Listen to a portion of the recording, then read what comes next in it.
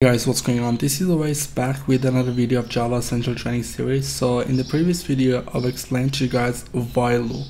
So i have that same code but i made that in the comments so it's been grayed out. So let's look at the do while loop uh, first okay? So in java do while is an iteration statement again like for loop and while loop. It's also called a loop control system. Do while statement is exit controlled loop because condition is checked at last moment. So irrespectively of the condition control enters into the do while loop after the completion of the body execution condition is checked whether true or false. If condition is false then it will jump out of the loop otherwise it will execute the code. So let me give you an example okay? So i give you a syntax for do while loop so just type do okay? And then you need to add curly braces okay? And in the curly braces let's say I will type let's define an int um just a variable first. So int int let's say y yeah x is equal to 1 okay?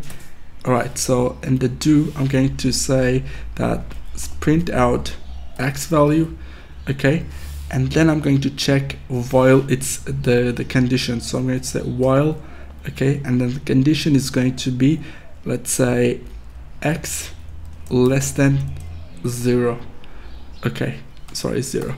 All right so all right so we got our loop done and then in the loop you need to add um, semicolon at the end. Right so let's run the program now I want to show you the difference between while and do while loop. So as you can see that we got the result of one, okay? But the same loop at the top we have a while loop, okay?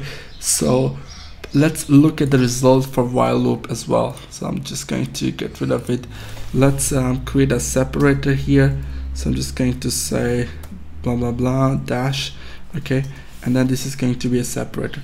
All right, so we have the do while loop here and then same condition we have in a while loop. So the count variable is has a one value. So if it's less than zero then print out this okay? All right so let's run the program. All right as you can see that that there's nothing is being executed in a while loop. The reason why is because the condition is checked first. So the condition is if count is less than zero which is not because it's one so it is not going to execute anything all right but in the same thing in do while loop x is equal to 1 and I'm going to say do system out print x value if it is less than 0 well because this compiler comes up here first it actually prints out the value of 1 and then check the condition. So even the condition is false it is still going to print out x value so that's the difference between while loop and do while loop. While loop checks the condition first and do while loop checks the condition at last. Alright, so that was a quick tutorial about do while loop. Next video is going to be about for loop, right? So thanks for watching and I'll talk to you guys in the next video. If you have any question, leave in the comments and don't forget to subscribe. Thanks for watching. Talk to you guys in the next video.